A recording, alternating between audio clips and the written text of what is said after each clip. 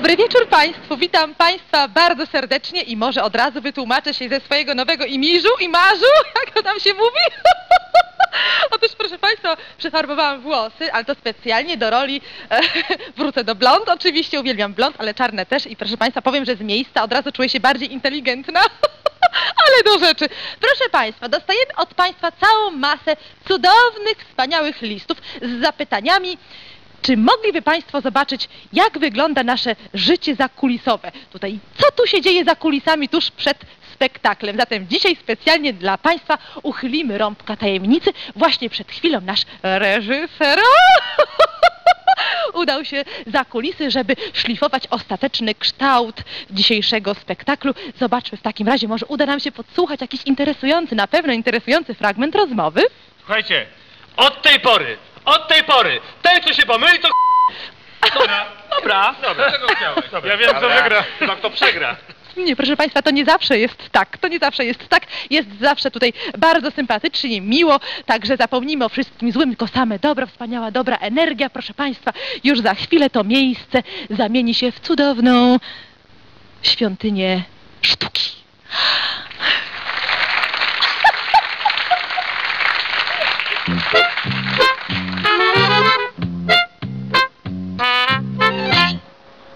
No. Do siebie, do siebie, do siebie, do siebie, do siebie ciągnij. Do siebie, do siebie. O, o dobrze. O, no, no. Palenie zabija. Głupoty, głupoty. Palenie tytoniu uszkadza nasienie i powoduje impotencję.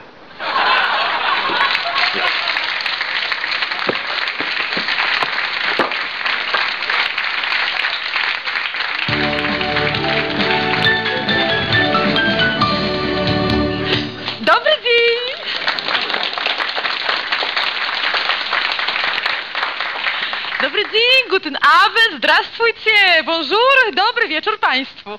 Witam Państwa w programie Europa nie da się nie lubić. Proszę Państwa, jak spędzamy wolny czas? Część z nas spędza go przed telewizorem, część idzie na spacer, bo po prostu nie stać ich na telewizor. A jak spędzają czas nasi europejscy sąsiedzi? Zobaczmy. Oto oni. Na początek goście z zimnej północy Björn Rasmussen, pogodny Szwed z Malmö. Skål, skål! Skål Monika!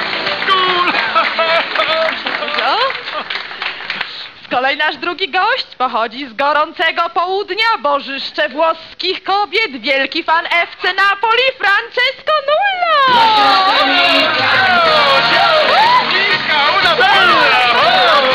Ciao, ciao, ciao, moje opalone, ciao! O, Francesco, o, to bożyszcze nie tylko włoskich kobiet. Futboli! Nasz trzeci gości pochodzi z Szwajcarii, e, wielki fan Maccabi Tel Awiw, pan Aaron Rapaport.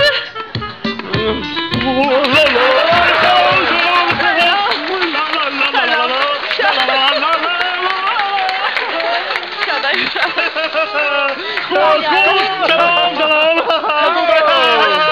Wspaniale. Kevin, Kevin, Stefan, Kevin, Kevin, Proszę Stefan, Państwa, proszę Stefan! Państwa, niestety Kevina i Stefana dzisiaj nie będzie, ale przysłali nam listy, no. Przysłali nam listy. Kevin e, pisze, że e, pisze, że nie może e, do nas przyjechać, ponieważ został sam w domu. Kevin sam! Ciao! Dziś on nie przestanie żartować, chyba nigdy. A i Stefan pisze, że również do nas nie przyjedzie, ponieważ jechał z Kevinem na motorze i mimo tego, że nie pił, jego również zamknęli. Nienawidzę tego kraju. Nie... Dobrze, w takim razie przejdźmy do naszego dzisiejszego tematu. Björn, jak spędzasz wolny czas? No, ja czytam książki. O, to pięknie. Dużo czytasz? Już przeczytałem 20 tysięcy! Bardzo dużo! 20 tysięcy mil podmorskiej żeglugi!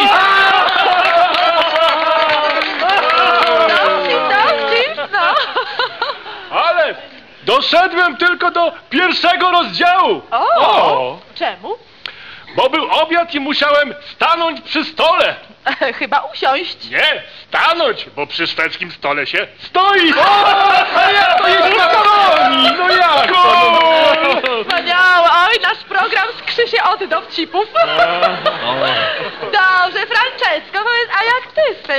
wolny czas? E, no ja zazwyczaj mm, nurkuję. Nurkujesz Tak. gdzie?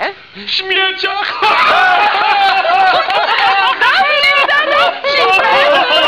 Oj, Panowie, panowie, panowie, poważnie. Em, najbardziej lubię nurkować w morzu. W morzu, mm, a masz papiery nurka? Mam, ale ostatnio mi zamokły. Francesco? Tak? No. ostatnio zszedłem nawet na 60 metrów, wiesz, O, Monika? jak No. tam jest? Tak samo jak na 50, tylko głębiej. Taka jest nasza Europa, rozbawiona, rozgadana, troszeczkę dokuczliwa, ale zawsze, zawsze sympatyczna. Aaron, z tobą Tak. jeszcze nie rozmawiałam, powiedz, jak ty spędzasz wolny czas? No jak ja spędzam wolny czas? No, e, ja zajmuję się knuciem spisków y, i wpływaniem na decyzje Banku Światowego. Proszę Państwa, ale to nie koniec atrakcji, ponieważ już za chwilę będę miała przyjemność, Francesco, O. przesiąść się tam, proszę, e, zaprosić do mojego stolika naszego gościa specjalnego. Gość z Krakowa, proszę Państwa, e, dziennikarz, trochę poeta, pisarz, troszeczkę gawędziarz, troszeczkę takie nie wiadomo co. Zapraszam Pana Leszka Bazgrana.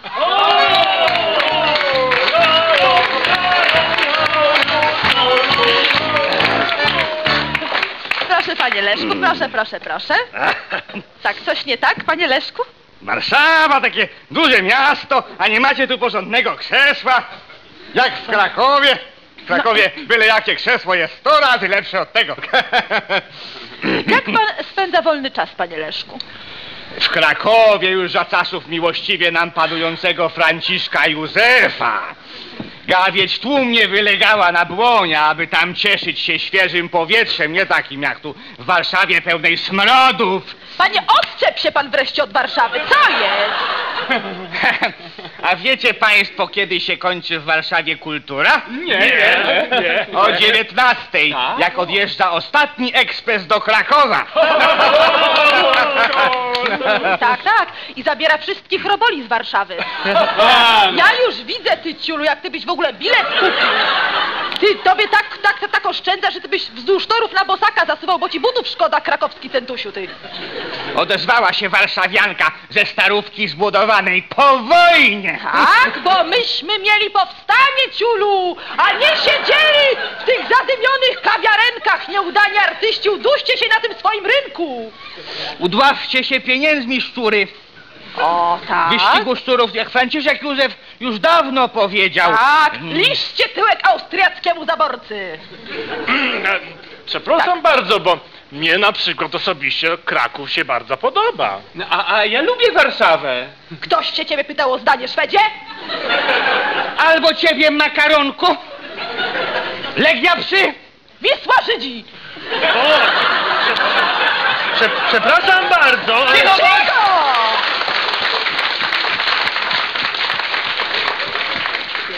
Czekaj, znajdę na ciebie teczkę w IPN-ie, ty. Warszawko, ty. A, Ty, ty, ty. a, tak. Tfu. O, a ja na ciebie, ta tfu. Zobaczysz. Tak, zobaczę, dobrze. Poczekajcie, rzucę go tylko szklanką przez okno. O, Polacy, Polacy. Nie wiem jak panowie, ale ja osobiście jestem za zawężeniem Unii.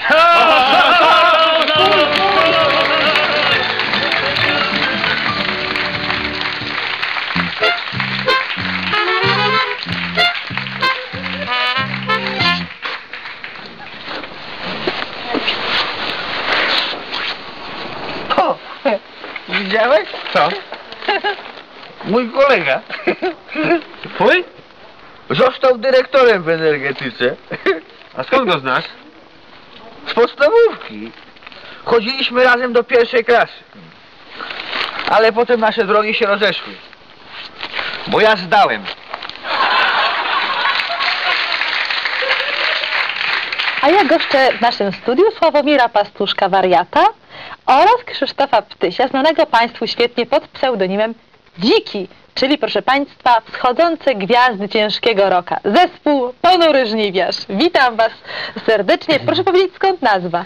No myśmy się początkowo mieli nazywać Budka Suflera, wie pani, ale tak się okazało, że to chyba już podobno taki zespół istnieje. Tak, tak, tak. No potem Dziki wymyślił onaniści. Onaniści? Tak. Ale ta nazwa wydała nam się za bardzo awangardowa. Wasz najnowszy singiel, czytam w ulotce promujący płytę Zwłoki z Trzęsawisk, nosi tytuł e, Wątroba. Panie Krzysztofie, no, o, czym, o czym jest ten utwór? No my śpiewamy o tym, co nas boli. Czy, a moglibyście zaprezentować naszym widzom ten yy, tak, oczywiście, zaśpiewamy piosenkę. To co, Dziki, podrzucimy żaru?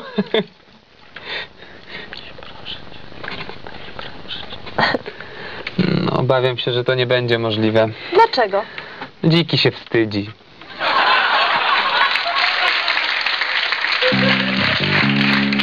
Gdzieś w głębi kraju jest zakład, w którym toczy się nasza historia.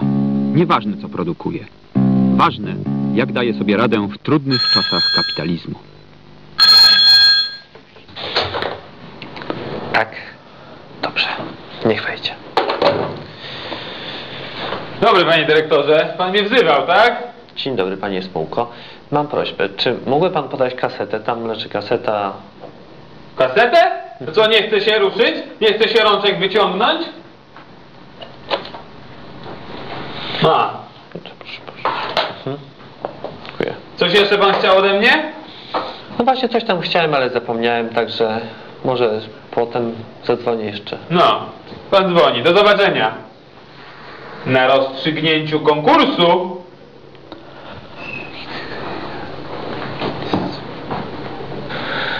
O, bardzo dobrze. Jest pan pana Dzień dobry, panie dyrektorze, pan mnie tak w pilnym trybie wezwał. Co, co się stało? To jest poważna sprawa.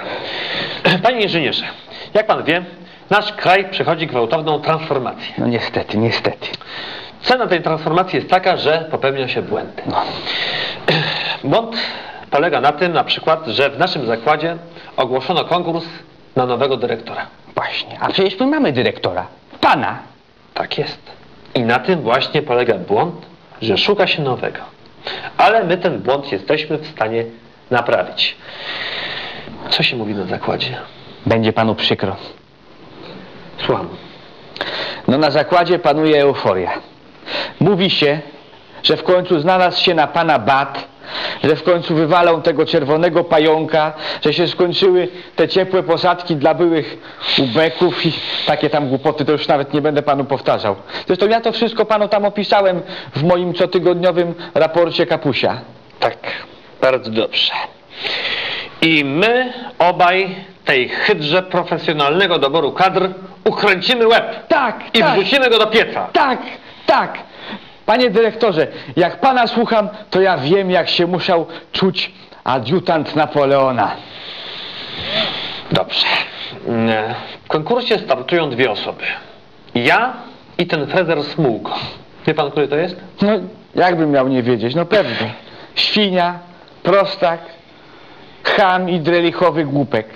No ale niestety, ma duże poparcie wśród tej tam hołoty, załogi. No właśnie, a dlaczego? No, jest uczciwy, całe życie był robotnikiem, nigdy nic nie ukradł, zawsze tak w zgodzie z załogą, zupełne przeciwieństwo pana. Tak. No, panie dyrektorze, nie ma możliwości znaleźć na niego haka. Oj, mój prostoduszny, dobry, niewinny inżynierze Mrównica. W świecie wielkiej polityki wygląda pan jak mała żabka. Zrobimy tak. Wie pan, która to jest szafka e, smułki tam w szatni? Tak się wyróżnia. Zawsze taka wyczyszczona, taka wygładzona, tam wszystko takie doprasowane, wymyte, taka babska. Jeszcze święty obrazek wisi. Dobrze, zrobimy tak. Niech się pan tutaj do mnie zbliży. Co, co, co, co pan chce, panie dyrektorze? No, co? Przecież ja zawsze byłem tutaj na pana... u- Co pan chce mi... Dobrze, dobrze. Panie Mruczki, nic panu nie zrobię. Tak? Niech pan tu podejdzie. Nocą zakradnie się pan do tej szafeczki i zostawi pan niby przypadkiem takie mianowicie rzeczy. Proszę bardzo. Zdjęcia. Poznaje pan? Pałac Kultury i Nauki. W Warszawie, No, Moja tak? ulubiony budynek. Tak, to pan zostawi te zdjęcia i instrukcję pilotażu po arabsku. Aha, tu pan zostawi zdjęcie bandy Mansona, tu pan wklei zdjęcie, Wkleję, wkleję, wkleję, tak. zdjęcie smułki. Tu w środku jest jeszcze fotomontaż, mm, na którym smułko spotyka się z Auganowem. O, To pan tam mm, wszystko zostawi. też potrzebny, potrzebny. Tak, tu jest mapa Mapa? e, z zeszłego roku ze Szczecinem i Wrocławiem w granicach Niemiec. A, I to pan przyczepi do rękawa, do, jego tam relichowej kurteczki. Co tu jeszcze mamy? No, to, to no, wiadomo. no. I, aha, i jeszcze tę kasetkę z twardą pornografią. Tam też A to dobrze, to ja se sam przejrzę. podłożę. No, czyli kasetka, czyli to chyba wszystko jest. No ale to muszę powiedzieć, że ostro pan gra. Znaczy, ostro gramy. No. Aha, i jeszcze pan mu tam zostawi tę torebeczkę. Jasne. Imitacja kokainy. Nie, kokaina. Mm. A to tak smakuje kokaina. No nie dokładnie, bo jest akurat zmieszana z wągolikiem. Co, z grubej rury walimy, nie? Walimy z grubej rury. A gdyby gruba rura zawiodła, walniemy z cienkiej. Gdzieś tam jak będzie wychodził z domu, co? Więc niech pan zadzwoni do, na policję, najlepiej z jakiegoś takiego, wie pan, takiego tiktaka, jak ten, jak ten poseł, nie, żeby nie było żadnych śladów. Bardzo dziękuję. Mam już swojego piniwina. Moje dzieciaczki siedzą w namiocie. Zmieszana z wąglikiem, ale działa. Panie Marcinie, zrobiło się ostatnio głośno o panu, a przede wszystkim o wydarzeniu, które wydarzyło się na pana polu. Czy mógłby pan o tym nam opowiedzieć? Tak? U mnie na polu, w życie, za stodołą, pojawiły się dziwne znaki. Mhm. A kiedy je pan zauważył? No wieczorem jeszcze ich nie było, Aha. ale rano jak poszłem za stodołę... A to pan poszedł za stodołę, bo pan już coś przeczuwał. Nie, poszłem za stodołę, bo czasem tam chodzę po prostu, żebyś... Mhm. Mhm. Po prostu tam chodzę za tą stodołę. Przepraszam. A co dalej? No i spostrzegłem te dziwne znaki. Aha. A ma pan może, może jakieś, jakieś zdjęcie tego, żeby pan zaprezentować naszym Nie, ale ja je mam ze sobą. Naprawdę? Proszę. Dziwne, co? Ale kwas. To naprawdę ma być śmieszne? A co, nie jest? No, przez osłabienie. Proszę Państwa, wracamy do programu. Już za A wie, chwilę pani, obejrzymy... a wie pani, że znalazłem y, w, w lesie takiego grzyba giganta? To znowu jakaś podpucha? Nie, powaga. Wielki kawał grzyba. Pokazać? Powiedzmy. Igor! Привет! Co to jest? Kozak. Da, kazak! Co? Mały? Pan, что случилось? Igor, znalazłem w życie takie dziwne znaki. A Igora to śmieszy.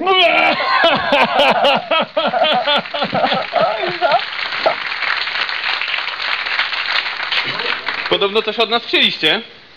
Nie tylko wy.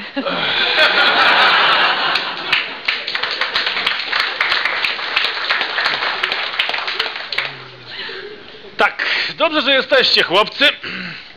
Widzę, że jesteście już na tyle duzi, że oboje z matką możemy z wami poważnie porozmawiać. A o czym?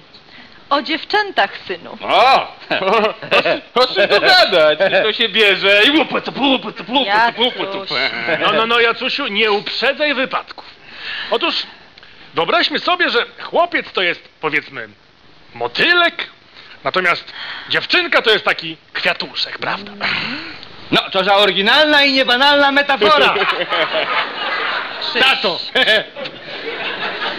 I nadchodzi taka chwila, kiedy kwiatuszek wypatruje na motylka synu, a motylek szuka kwiatuszka. Tylko musicie uważać, moi drodzy, Dobrze. żeby zamiast na kwiatuszka nie trafić na chwasta. A kwiatuszek musi uważać, żeby zamiast na motylka nie trafić na żuka gnojarza.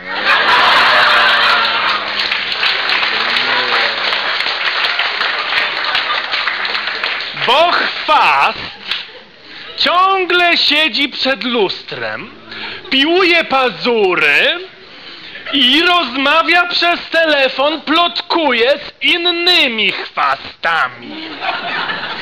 A żuk gnojarz, chłopcy, Tak. nie sprząta po sobie po jedzeniu, śpi do południa, chodzi cały dzień w gaciach po mieszkaniu i nie myje nóg. No, no nieważne, nieważne. W każdym razie nadchodzi w końcu taki dzień, kiedy motylek siada na kwiatuszku, zapyla go panie, no i wtedy rodzą się takie dwa małe bąki, jak wy. Motylek? Nie. A ja znam takiego motylka, co go w ogóle nie interesują kwiatki. Tylko sobie mieszka z innym motylkiem. I chyba nawet będą brali ślub gdzieś w Holandii. No. A ja z kolei znam dwa kwiatki, co mieszkają razem. Ale oba niestety brzydkie. E, jak brzydkie to nie szkoda. No nie. Ty, to co? To lecimy na miasto, na kwiatki. Tak? Albo może od razu ty do jakiejś kwiaciarni towarzyskiej. Tak, tak, tak, ale czekaj, czekaj. Łupa to łupa to pu, pu, cu, pu, tak, tak, ale czekaj. Y, jak widzę, wy też już jesteście na tyle duzi, że można z wami poważnie porozmawiać. I teraz tak, załóżmy, że takie dwa małe synki jak my, to są dwa słoniki. Rodzicami słoników są dwa stare słonie. I te stare słonie już dawno powinny rozglądać się za jakimś cmentarzyskiem. Ale zanim znajdą miejsce, żeby złożyć te swoje stare, schorowane kości, powinny zastanowić się, jak podzielić ten zgromadzony przez całe życie mająteczek pomiędzy swoje słoniki. A słoniki są dwa i więcej już nie będzie. Bo motyl raczej nie ma siły siadać na kwiatku. No a i kwiatek, no to daj się spokój, no takiego motyliska nie udźwignie. Nie wiem jak słonica, ale słoń jeszcze nie wybiera się na cmentarzysko. Tak? A wczoraj weterynarz słonia to mówił co innego. Dobrze. Ja wam tylko powiem, chłopcy, że kwiatuszek to jeszcze więcej u- udźwignie niż wam się wszystkim wydaje. A motylek, a motylek... A pocałujcie by słonia w trąbę! Proszę Państwa, właśnie zakończył się spektakl. Wszyscy jesteśmy lekko zmęczeni. Yy, panowie techniczni właśnie zabierają to, co chciałam, z czego chciałam skorzystać, czyli syfon. Bardzo chce mi się pić, trudno, zaraz tutaj ogólny demontaż będzie trwał, a my zobaczmy w takim razie, co robią za kulisami aktorzy. Na pewno gratulują sobie wspaniałego występu. Posłuchajmy, co mówią. Dosyć, dosyć, ja po prostu więcej nie gram debili i pijaków, dosyć. Dlaczego ja ciągle gram debili i pijaków? Nie. Nie, myślę, że nie będziesz grał. Kto się myli? A kto? Ty się mylicie, mylisz, ja się mylę. Ty mylisz się, ty mylisz innych mylisz. Proszę na koszula. Dobra, A ty jak mi Dobra, ty dobra, dobra, dobra, cicho no. Kto to wszystko ogląda? Ależ są skromni, ale kto to ogląda? Proszę Państwa, my oglądamy, Państwo oglądają. Przecież nam się to wszystkim podoba i za tydzień też będzie wspaniale. Zapraszamy, zapraszamy na tygodnik za tydzień. Do zobaczenia.